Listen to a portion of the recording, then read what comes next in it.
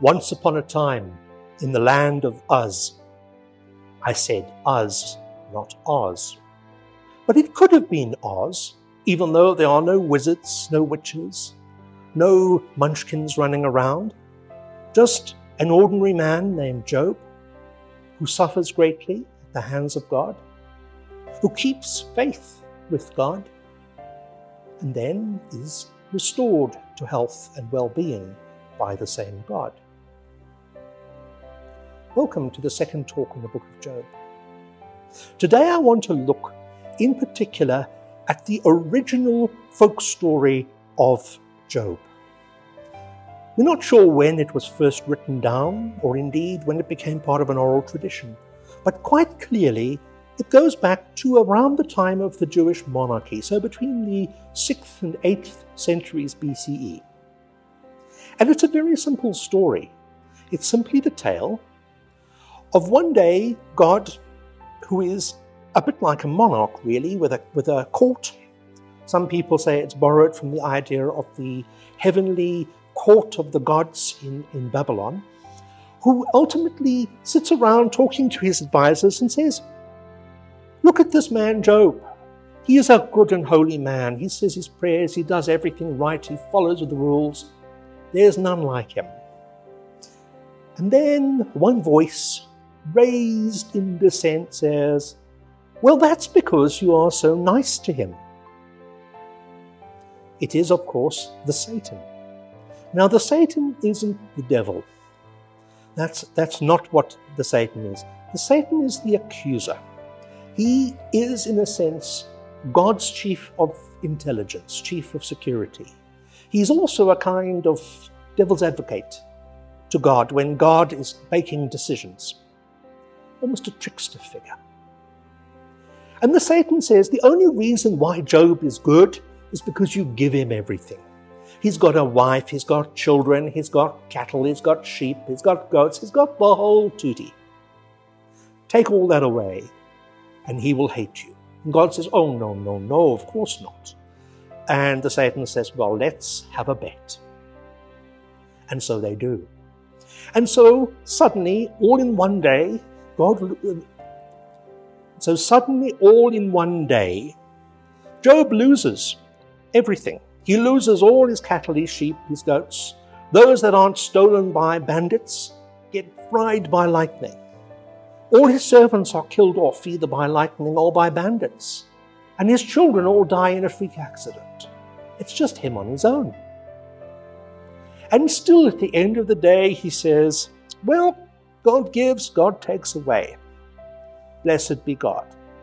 And God in his heaven looks down and says to the Satan, You see, I was right. And the Satan said, Well, I don't know. We must, we must take it one step further. Make him suffer. This is just material stuff. Let him suffer and he'll curse you. God says, Okay, but don't kill him. So the next moment, poor old Job, after all that he had on a bad day, ends up discovering he's got terrible skin disease. And now his wife says to him, Curse God and die. Now, in some of the translations, it says, Bless God and die. And the Hebrew actually is bless, but that is more of a taboo about using the word curse with God. Even among people who were writing a folk story, you don't want to say curse God. Anyway, so she tells him to curse God and die, and he berates her and says, How can you say that? God gives, God takes away.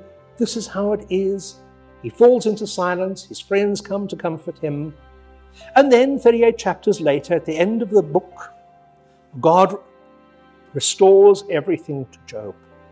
He gets everything back multiple fold, and he lives a long and happy life and they all lived happily ever after. Notice I said it's very much a folk story.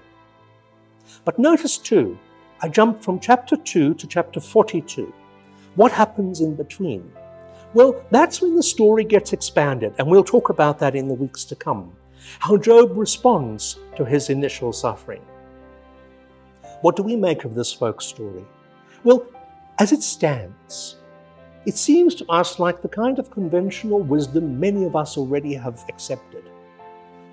We are faithful to God, and God treats us okay? How many of us, when things go wrong, wonder what we have done wrong? That's precisely the question that this folk story raises. Because we know as readers, and Job never knows, that the whole thing is a bet. It's a game played by God and the Satan. And poor old Job is the, he is, how should we describe it? He is the, the tool that they use to play their game. He is the fall guy, if you want to use another term. Job, at this point, is a lot like many of us who have grown up with this idea that if you do right, if you behave yourself, if you say your prayers, God will be good to you. Well, we all know that doesn't happen all the time. And indeed, perhaps we may be deluding ourselves that it ever happens. What the rest of the book of Job does is explore this question of God, suffering, and innocence. I look forward to talking to you again next week as we explore further how Job responds to suffering and indeed how we might learn from Job.